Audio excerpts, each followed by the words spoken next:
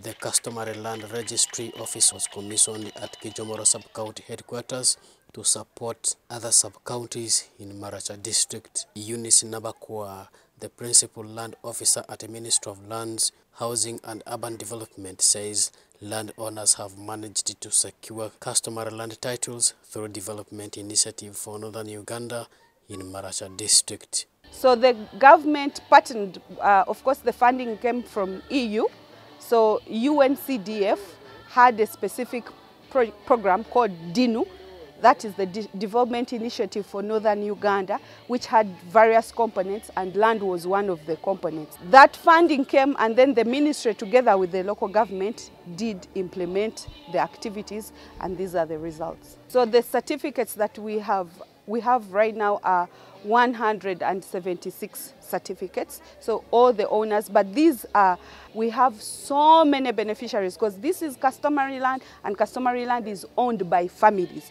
So when we go out to register, we ensure that each and every family member is put on the certificate. UNDCF Head of Country Office, Dimitri Pozhidaev, says land is an important factor of production that needs legal protection as basic freedom in development process. We have talked today at the commissioning event about the importance of land in three respects. One is uh, as the security issue. The second important uh, aspect is uh, land uh, as the factor of production. It allows people to increase agricultural production in a safe way. Uh, this is uh, a broader transparency issue because it allows people to know where exactly their land is. It creates more confidence in government. Uh, this is um, kind of a pilot project. Uh, it has started in a few uh, sub-counties in, in a few districts. According to one of the beneficiaries, it had not been easier for him to acquire a customary land title until this project came into play. This has been a very, very great achievement in my life since 1962 when Uganda got independence, which means the government is trying her best to work left and right for the benefit of the people of the country. State Minister for Lands in charge of Urban Development, Obiga Mario Kania, asked the customary land owners to be careful while using their land titles as collateral to secure bank loans. If you read the constitution, it clearly states a number of titles. Uh, we're securing people's land. We're also resolving a problem of conflicts. You don't put your land title in a bank or to lend to get money in order to eat the money. That's why I emphasize the issue of sensitization of the public, which our communities and our local governments at the district and sub-county levels should be doing.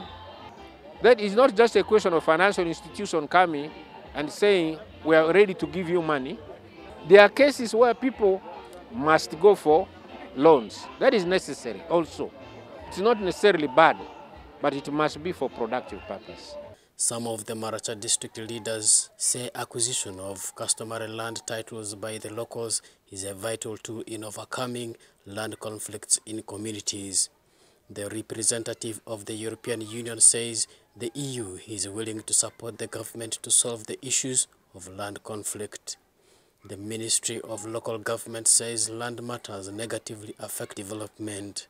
Land ownership is a source of conflict, so when we manage to uh, look into it and uh, title, it is uh, helping to reduce the number of land conflicts. So I'm happy to see the results today.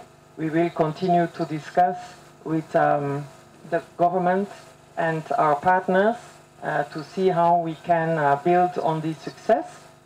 This land issue has been a sticky matter within our development agenda.